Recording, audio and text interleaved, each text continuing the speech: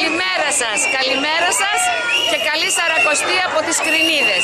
Είναι η δεύτερη καρναβοπαρέλαση που γίνεται εδώ από μια ομάδα ανθρώπων που με πολύ μεγάλο μεράκι και πολύ κόπο ετοιμάζουν όλο αυτό. Είναι γύρω στα 250 άτομα που συμμετέχουν, μικροί, μεγάλοι. Σχολεία, νηπιαγωγεία από τη Λιδία, από τις Κρινίδες, του Ιωσήφιδη ο Φούρνος, το Αλαλού, το Κομωτήριο Σάβας και αν ξεχνάω κάτι συγχωρέστε με. Αυτά τα παιδιά μας είναι τα μικρά Ινδιανάκια και θα στείλουμε μια ε, μεγάλη κραυγή στο, στη τηλεόραση του Στάρ. Είμαστε έτοιμοι.